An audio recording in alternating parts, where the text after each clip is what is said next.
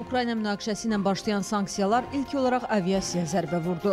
Rusiya təzə təyyarə satışı qadağan edildi. Avropa hava məkanını Rusiya təyyarələrinə bağladı. Sanksiyalara görə lizinqdən rus şirkətlərinə verilmiş çox sayda layner xarici limanlarda qalıb.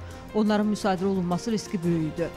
Təyyarələrin müəyyən məbləğ qarşılığında Moskvaya qaytarılması da mümkün deyil. Xarici qeydiyyatlı təyyarələrin Rusiya hava məkanına girişi qadağandır. Rusiya bankları vasitəsilə xarici hesablara ödəniş mümkün deyil.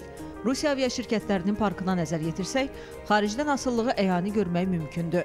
RBK nəşrinin statistikasına görə Rusiya aviaşirkətlərinin parkında 980 təyyarə var ki, bunlardan 80%-i xaricdə istehsal olunub. Onlardan 777-si lizinqdən alınıb.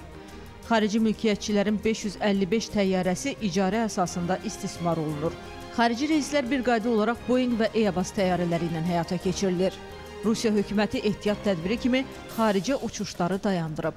Yeri uçuşlar əsasən böyük şəhərləri Sibirlə əlaqələndirmək üçündür.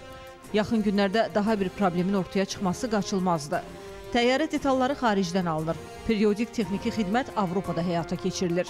Bunlar olmayacağı təqdirdə daxili uçuşlarda 70% azalma gözlənilir. Nəticədə uzaq şərqlə əlaqədə ciddi problemlər yaranacaq. Sovet modeli təyyarələrə gəlincə isə onlar bir qayda olaraq yaxın məsafəli regional reyslərdə istismar olunur.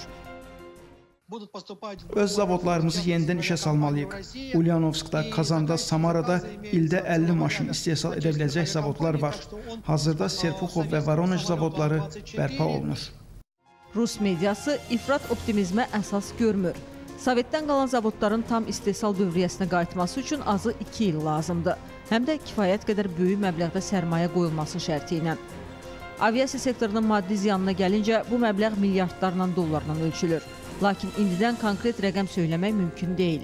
Hər şey Ukraynadakı proseslərin gedişatından asılı olacaq. Vüqar Ələsgərov, Alidə Fərhad qızı, İqtisadiyyat xəbərləri.